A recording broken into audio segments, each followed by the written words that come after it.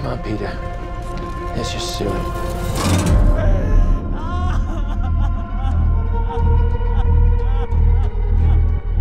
It's heartening to see so many strange new faces here today.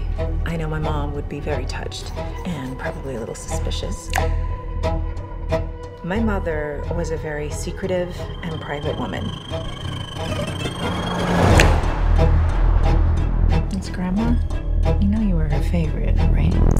Even when you were a little baby, she wouldn't let me feed you because she needed to feed you. She was a very difficult woman, which maybe explains me.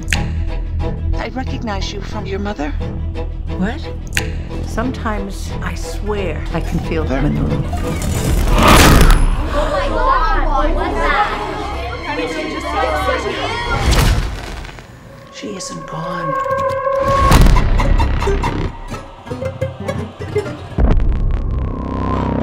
Private rituals, private friends. Who's gonna take care of me? You don't think I'm gonna take care of you? But when you die, she wasn't altogether there. At the end.